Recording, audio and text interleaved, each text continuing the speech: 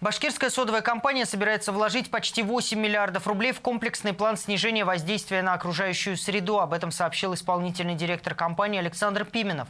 Известно, что план предусматривает реализацию восьми масштабных проектов, что позволит уже к 2030 году снизить выбросы в атмосферный воздух на 5,5 тысяч тонн. Программа реализуется в рамках подписанного в апреле 2023 года соглашения между БСК «Газпром нефтехим Салават», правительством региона и Минприроды России. Э, соглашение предполагает реализацию федеральной программы «Чистый воздух». Сейчас содовая компания проводит работы по оснащению стационарных источников выбросов автоматическими средствами измерения, фиксации, передачи информации. В 2023 году мы разработали и утвердили программу оснащения источников выбросов автоматизированными системами контроля. В данную программу у нас вошло 20, 21 источник.